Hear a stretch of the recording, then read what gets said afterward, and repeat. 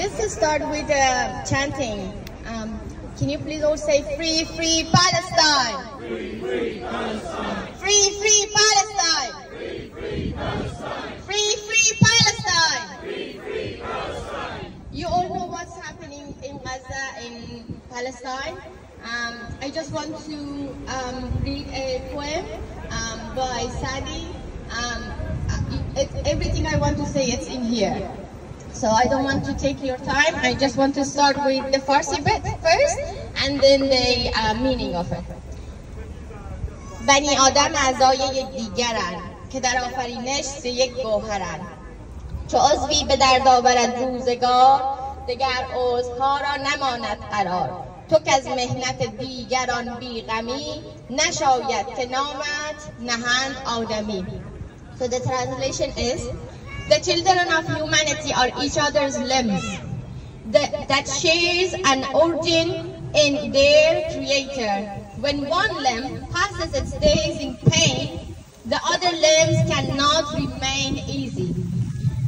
You who feel no pain at the suffering of others, it is not fitting you to be called human.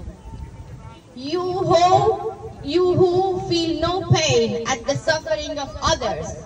It is not fitting you be called human. I think we are sharing the same thing. We are all human beings. We feel other people's pain. And um, I see lots of people who are not even Muslim, but they are here. We are all here for one reason, humanity. We are not asking for anything more. We're just asking for freedom to live. We're not asking for other things. We are asking for food. I've got two kids. I'm a mother. I feel their pain. It's Ramadan time. It's the holy time for us all. But we're not feeling it anymore. It's not in the air for us. I don't feel the Ramadan joy. Because I feel the pain of those mothers who don't have anything to feed their kids. I'm not from Palestine, but I'm a human being. I'm from Afghanistan, but I can feel their pain. The suffering is so much. We all know we have to stand up for their pain and for their suffering. And thank you so much for coming today. This is a big thing. We all see that is happening and we shouldn't be feeling that this is not going to work. But every bet that you are taking is, is going to work. We are doing our bit. What is my stand here is to say free, free Palestine!